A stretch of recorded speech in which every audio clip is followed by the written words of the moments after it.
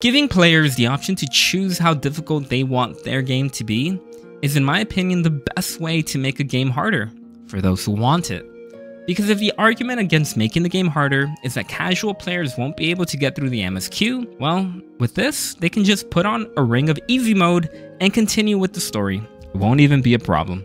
And for the raiders out there already commenting about how this will ruin the raiding community, I have no problem with keeping Savage and Ultimate pure, and only allowing the Ring of Easy mode to be used when playing unsynced. There are of course other ways that the devs can implement an easy mode, but I think this is an obvious one for me. With the upcoming Dawntrail expansion launching this summer, it seems like Yoshi P and the team at Square Enix are gearing up to make some big changes. This will be the first expansion that I play on launch, and I am so excited for it. What are you most excited for? Let me know in the comments below, and thank you for watching.